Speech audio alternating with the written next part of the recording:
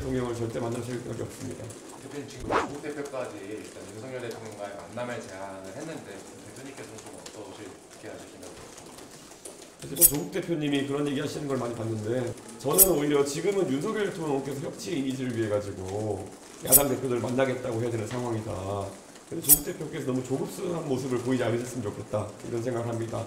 저는 윤석열 대통령께서 어, 적어도 박정훈 대령 문제에 대해 가지고 전향적인 그 입장을 보이시거나 현재 꼬인 실타래를 풀어내시기 전까지 저는 윤석열 대통령을 절대 만날 생각이 없습니다.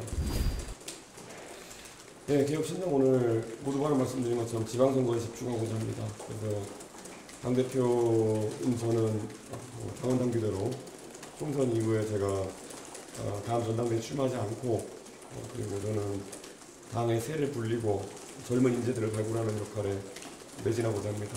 그래서 어, 지금까지 개혁신당의 이 총선 도전 그리고 이 소기 성과를 이루기까지 도움 주신 우리 당원들과 지지자들 그리고 국민 여러분께 너무 감사드리고 어, 무엇보다도 이번 전당대회 역시도 개혁신당이 다른 당과는 다르다는 걸 보여주기 위해서 어, 저희 당원 당규는 보면은 여성과 청년 최고위원을 별도 선출하지 않습니다.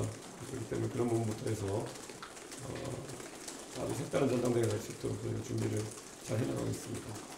그리고 무엇보다도 이번 선거를 통해 가지고 어, 비록 낙선했지만 우리 어, 개혁신당의 후보로 뛰어주신 훌륭한 인재분들과 함께 또 어, 다음 단계의 정치를 기획해 나가보려고 합니다. 그래서 그런 부분도 앞으로 기대를 가지고 어, 지켜봐 주시면 감사하겠습니다.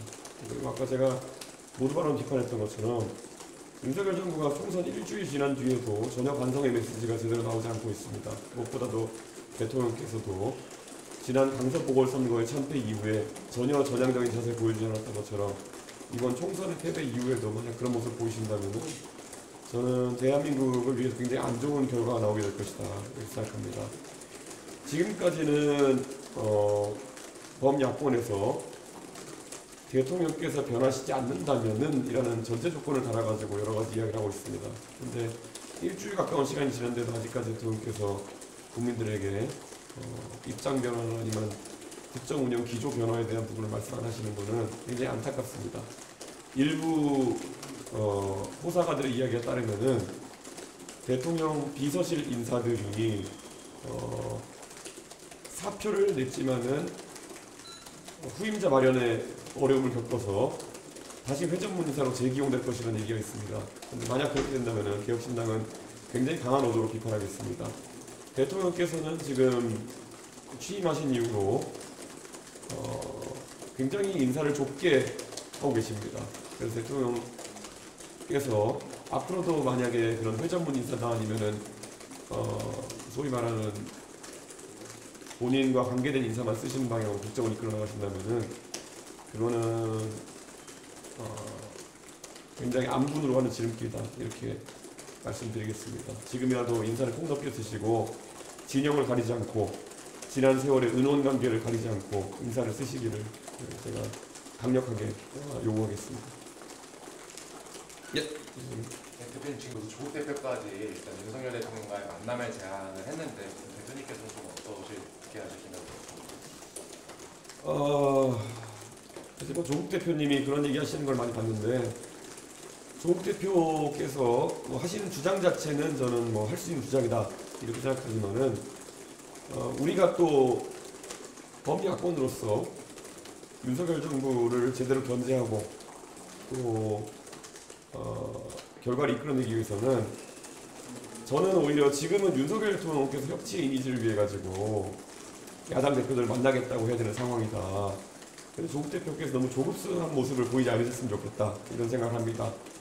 저는 윤석열 대통령께서 어, 적어도 박정훈 대령 문제에 대해 가지고 전향적인 그 입장을 보이시거나 현재 꼬인 실타래를 풀어내시기 전까지 저는 윤석열 대통령을 절대 만날 생각이 없습니다.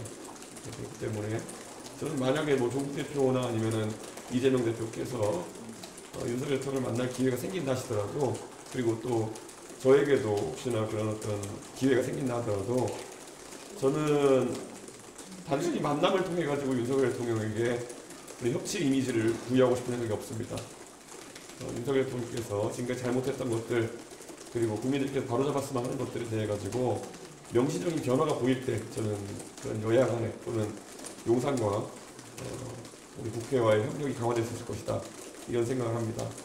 저는 이제는 국민의힘의 지도부가 어떻게 어, 변화할지도 잘 모르겠지만 우선은 대행 체제로 가겠지만은 국민의힘의 지도부도 그런 언급했던 어, 박정훈 대령 최상병건과 같은 문제에 대해 가지고는 매우 전향적인 용산의 자세를 요구해야 된다 이런 생각하고 있고 그러기 위해서라도 다가오는 어, 최상병 특검표 표결이라는 게 있어서 국민의힘이 다가오는 어, 표결에 있어서 완전히 다른 전향적인 모습을 보여야 된다 이런 생각을 하고 있습니다.